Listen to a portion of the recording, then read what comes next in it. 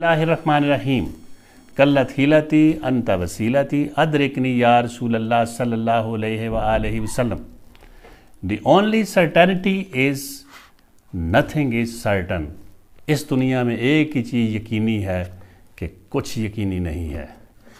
मैं हूँ प्रोफेसर मोहम्मद मनीर कादरी, जीव का नाजरीन। Active voice and passive voice आप जो जुमला भी पढ़ें अगर उसमें फ़ाइल वाज तौर पर मौजूद हो और ख़ुद काम कर रहा हो तो समझें ऐसा जुमला जो है ये एक्टिवाइज का है।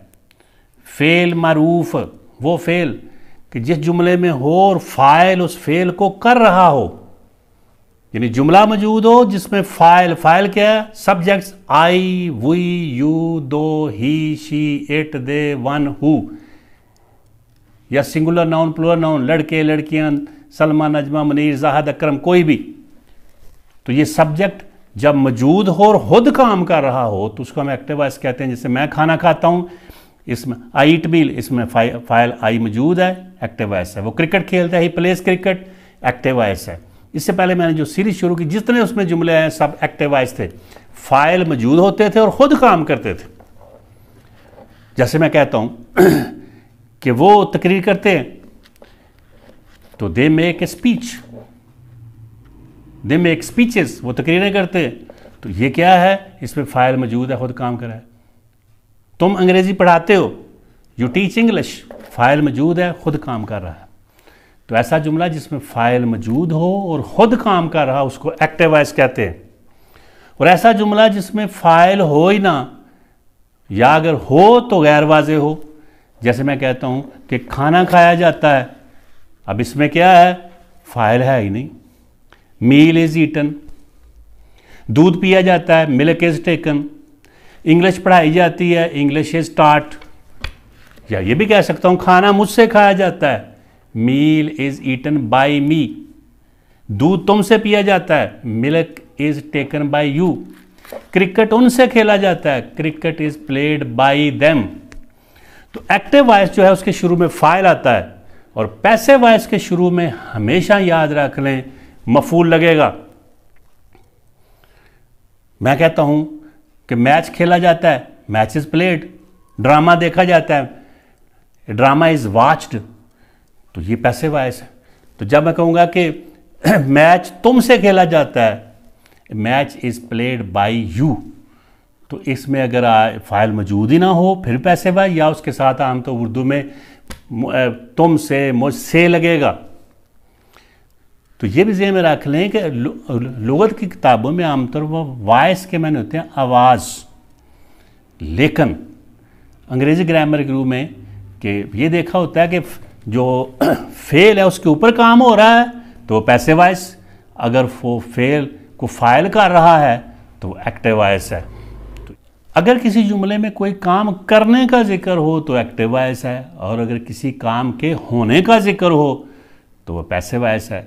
लुगत की किताब में वॉइस के मैंने आवाज़ के हैं, लेकिन अंग्रेज़ी ग्रामर की असलाह में वॉइस से मराद फेल की वो सूरत या हैत है, कि जिससे ज़ाहिर हो कि फ़ाइल कोई काम कर रहा है या उसके ऊपर को काम वारद हो रहा है। अब पैसे वायस सिर्फ़ उन फेलों का बनेगा ये भी जहन का हिस्सा बना लीजिए कि जो क्या होते हैं, फेल मुतदी हों, ट्रांसटिव वर्ब। यानी जिनके लिए मफूल की ज़रूरत होती है।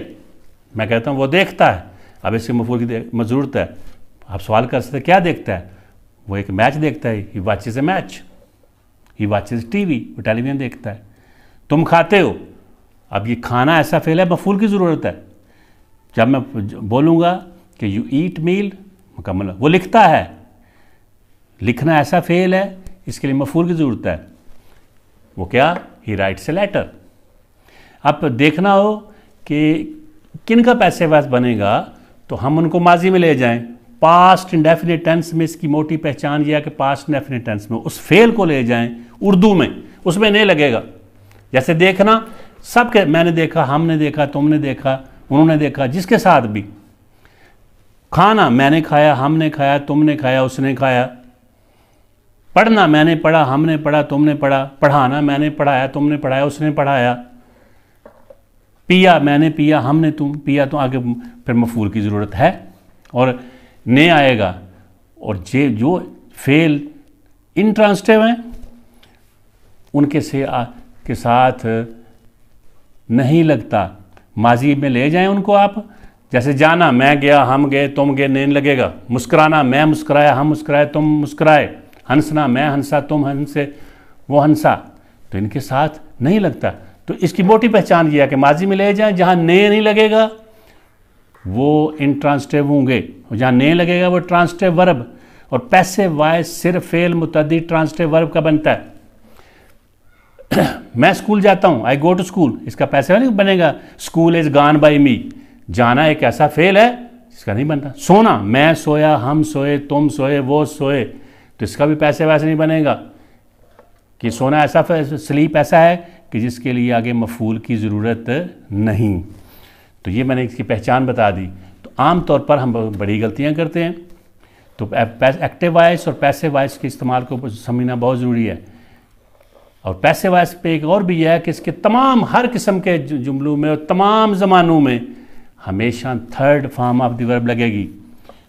पास पार्टिसिपल लगेगा। ये भी इसका लाजमी हिस्सा है।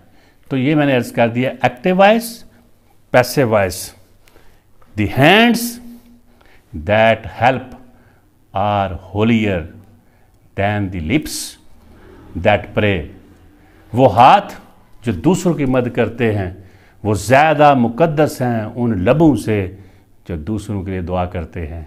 वमा तफ़ीकी इल्ला बिल्ला